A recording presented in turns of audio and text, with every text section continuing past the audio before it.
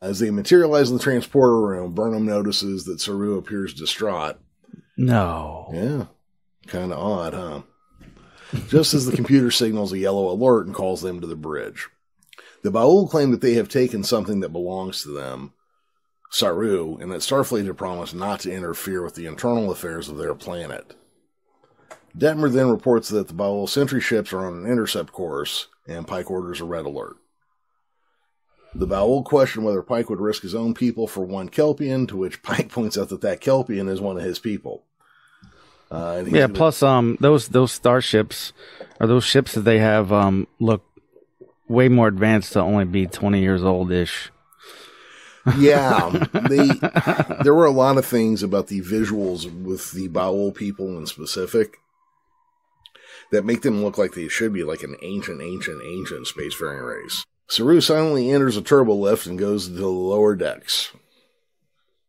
As the crew scrambles to their station, Saru goes to the transporter room and relieves the transporter officer on duty and sets the transporter to a time delay.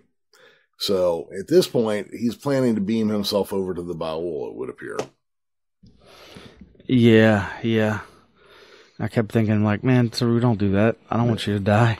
Yeah, yeah. You know what? Um, you know, just uh, stepping outside the episode for a minute, I kind of wondered if that's we were where we were headed with this. Well, that's what I thought when I originally watched it for sure. Yeah. I was like, man, I really like Saru. Please don't go, bud. yeah. So Burnham follows him in there knowing what he's planning to do and tells him to get off the transporter pad. Saru starts getting all belligerent and hyphy on her uh, man even know what Burnham would do if he didn't. In response, Burnham, I don't know why Burnham doesn't say, Hey, you remember when I killed our captain? uh, Burnham points a phaser at him, telling him she didn't want to use it, but that Saru was not thinking clearly. Well, come on. She didn't kill the captain. She just stunned her, I think. I, I right? know, I know, but my version gets funnier, okay? she points out that he's not thinking clearly, to which Saru points out he's never thought more clearly in his life. Which is what somebody who's not thinking clearly would say. Absolutely. are you okay to drive? Oh, great. Yeah, nothing wrong with me because alcohol affects your judgment. Not mine. Yeah. Oh yeah, of course. no, I'm so good, super good. I'm I'm I'm better when I'm drunk. I promise. Yeah, yeah, I promise. Swear, I swear, I'm a better driver.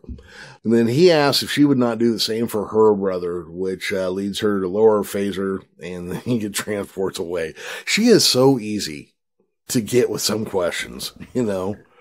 Well, well she's like, if, "Yeah, you're right. I've yeah. done the same thing." What Damn if it, it was Spock? And oh, you've mentioned him. I can't. I have no defense for this move. My one weakness. Well, she normally doesn't have a defense for the sometimes irrational things she does in the name of uh, sticking up for somebody else. Yeah, this is true. She's yeah. she's a complex character. She's a very complex character.